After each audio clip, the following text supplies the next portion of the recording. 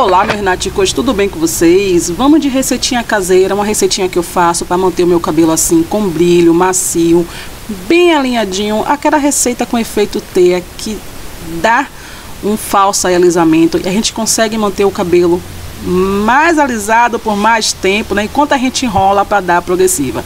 Gente, eu amo muito fazer essa receitinha caseira. É uma das que eu sempre faço, tá? Que eu mantive aí no meu, no meu cronograma. Vamos começar com a babosa. Eu peguei uma folha de uma babosa, eu deixo ela sempre 24 horas, né, escorrendo aquele líquido amarelo, porque aquele líquido amarelo pode dar alergia, né, e também deixa um cheiro esquisito é, no cabelo. Então eu sempre deixo ela 24 horas ali até escorrer. Venho tirando a polpa com auxílio de uma colher. Se você não tiver babosa, pode usar o sumo da babosa, da soft hair, que vai dar super certo. Eu gosto muito do sumo da babosa. Aí em seguida eu bati no liquidificador e ficou essa aguasminha, né? E eu vim misturando as minhas coisinhas. Eu coloquei duas colheres de maisena, tá? A maisena é ótima porque ela deixa o cabelo bem alinhadinho, macio e hidratado. Eu usei uma máscara de nutrição, essa de mandioca, que é sensacional, já tem resenha no canal, tá bom? E ela vai ajudar aí, dar também aquela nutrida nos fios. Usei o óleo, eu usei o azeite de oliva, porque eu gosto muito, porque ele tira totalmente o ressecamento do meu cabelo e não pesa os fios. Mas vocês podem usar qualquer óleo aí da sua preferência, tá? E é só misturar tudo muito bem, essa mistura não vai ao fogo, tá? É desse jeitinho aqui, depois que ela tiver toda homogênea, é só lavar os cabelos com shampoo e começar aí a aplicação. Gente, essa misturinha, ela serve tanto para hidratar, quanto para manter o cabelo bem alinhado, tá? Eu faço essa mistura mais ou menos aí uma vez na semana, tá? E ajuda muito. A maisena, ela tem o poder de tirar o ressecamento dos fios, da hidratação, da brilho e força. A babosa, ela elimina a oleosidade excessiva do couro cabeludo, ela combate a queda, ela ajuda a hidratar e nutrir também os fios, tá? Fora o alisamento que dá, é, na escovação você consegue ter mais uma facilidade nesse alisamento. Gente, eu passo a mistura, mecha por mecha, e luvando bem até eu perceber que o cabelo tá bem envolvido com a misturinha. Venho com o auxílio do pente poder espalhar mais ainda a mistura no cabelo. E eu deixei agir a babosa no meu cabelo mais ou menos uns 40 a 50 minutos, tá?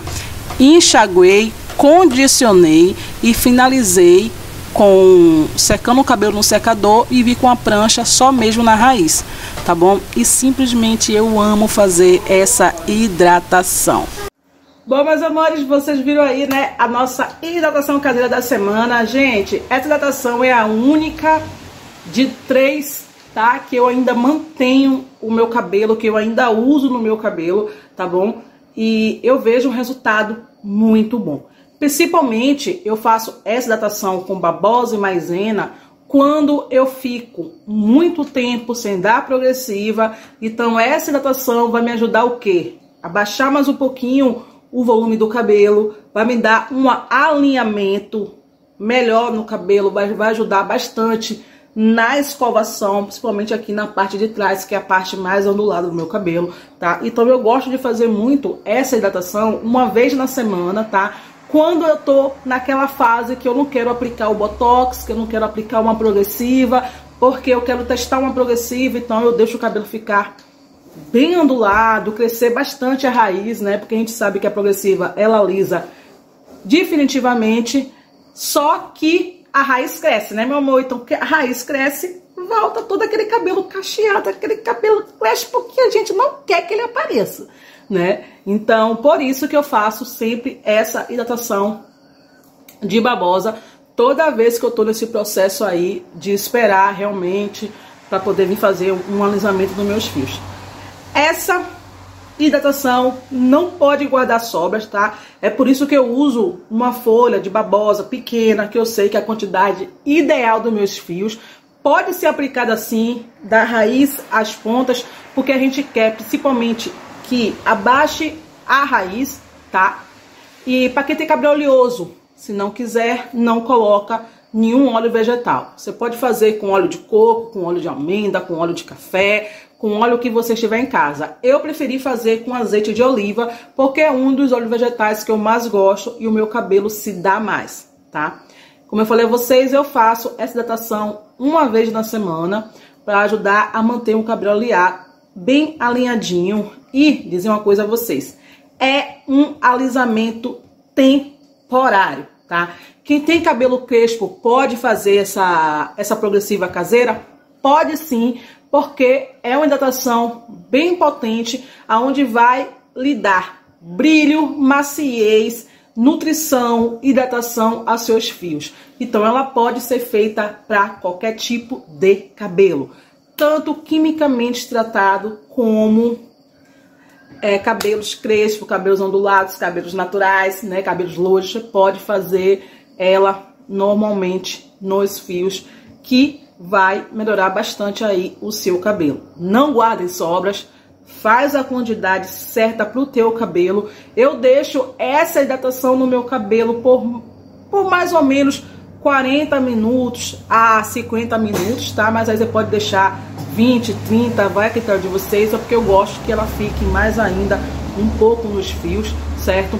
Finalização de cabelo. Você pode deixar o cabelo secar natural, você pode escovar, você pode pranchar. Fica a critério de vocês. A finalização é a critério de vocês.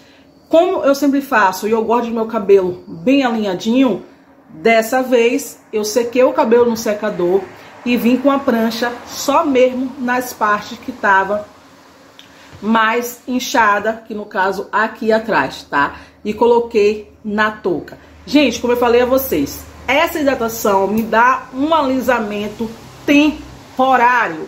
Não é uma coisa que eu vou alisar hoje e ela vai ficar definitivamente. Não, porque não contém química e não vai fazer transformações nos meus fios, tá?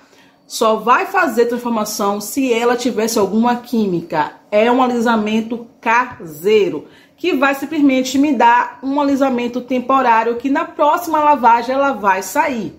Vocês entendem um pouquinho, né? Para depois dizer que eu fiz uma progressiva aqui e não alisou o cabelo. Pois é, ela vai dar um tratamento, vai ajudar a amansar o cabelo, a alinhar mais o cabelo, né? Porque a maisena, ela faz isso, ela tem o poder de alinhar os fios, mas é um alisamento temporário. Beleza?